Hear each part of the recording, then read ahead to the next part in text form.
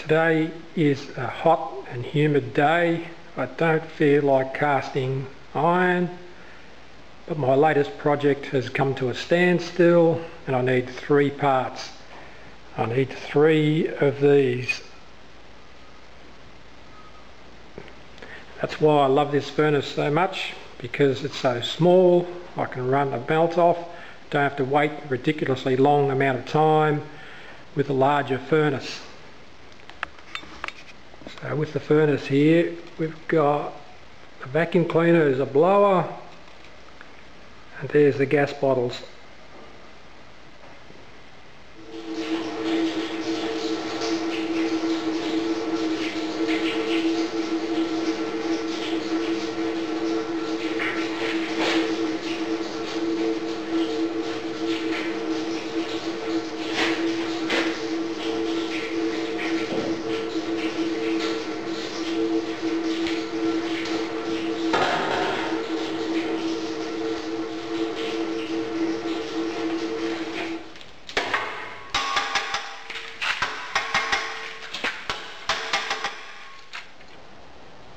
look pretty good.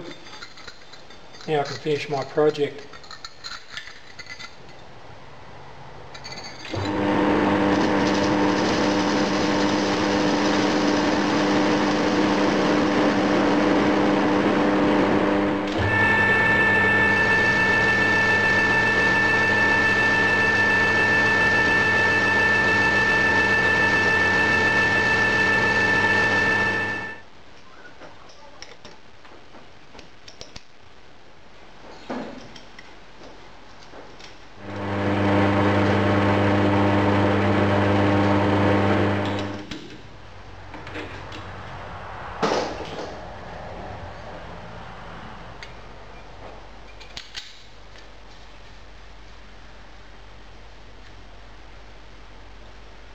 Second part of the light tower is finished.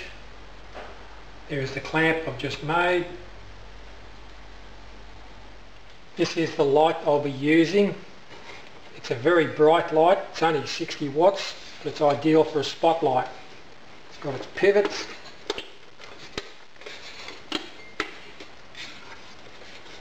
That's how it was originally attached and that will have to be dismantled and also in there I'll have to dismantle inside there and make some sort of bracket so it'll fit on the edge of the pole. That's what it looks like inside. We keep this wire here. These ones we take out and put the new lead on. These four points here where this cover's screwed on, a new cover will be designed as a mounting point just there. Here is the light. Seems to be working okay. Ready for the next step. This is the pattern and idea I've come up with. These four screws, the clamp goes on there and on there and that clamps it onto the boom and then there's holes drilled here and here and they go into the light fitting itself. Just a simple little pattern be cast in aluminium and you may ask why because I normally do everything in iron. It's because there's a lot of overhang on the boom and any extra weight when it's fully extended will tip the thing over so I've got to make it out of aluminium. This is my non-ferrous metal furnace. Only melt aluminium, brass and bronze in it. I used to melt cast iron in it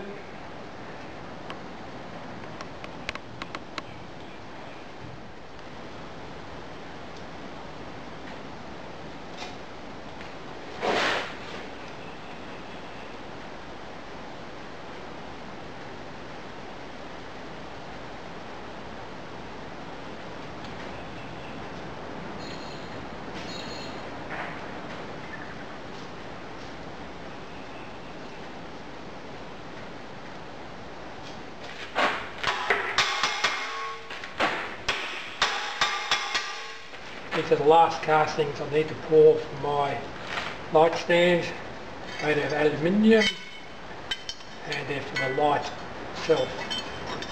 Seem to come out okay. Here is the cast aluminium adapter plate. It has all the holes drilled in. I've made up the screws and spacers and now I should be able to assemble it and put it onto the back of the light fitting.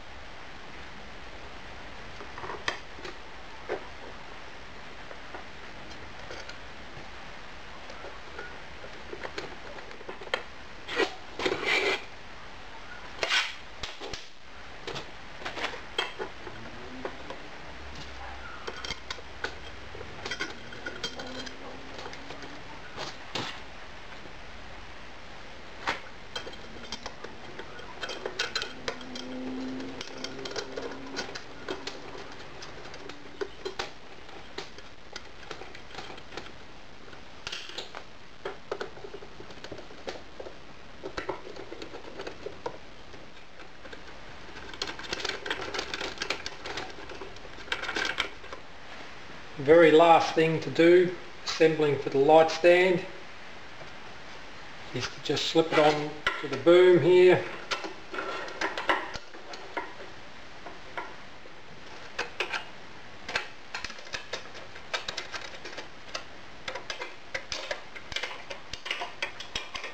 Now it's finished, ready for a test run.